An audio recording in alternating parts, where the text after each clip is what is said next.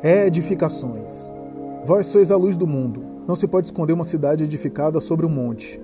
Jesus.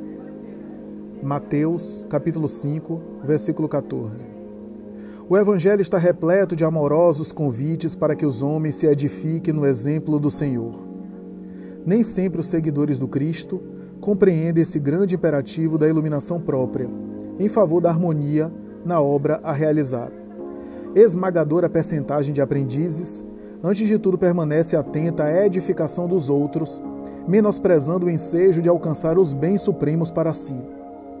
Naturalmente, é muito difícil encontrar a oportunidade entre gratificações da existência humana, porquanto o recurso bendito de iluminação se esconde, muitas vezes, nos obstáculos, perplexidades e sombras do caminho. O Mestre foi muito claro em sua exposição para que os discípulos sejam a luz do mundo, simbolizarão cidades edificadas sobre a montanha, onde nunca se ocultem.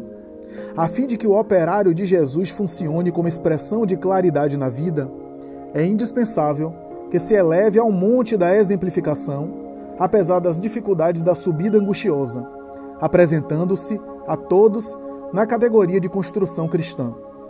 Tal cometimento é imperecível o vai e vem das paixões não derruba a edificação dessa natureza.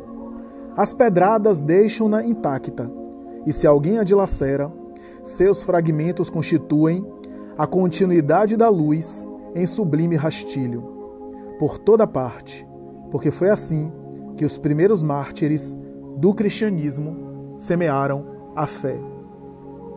Emmanuel.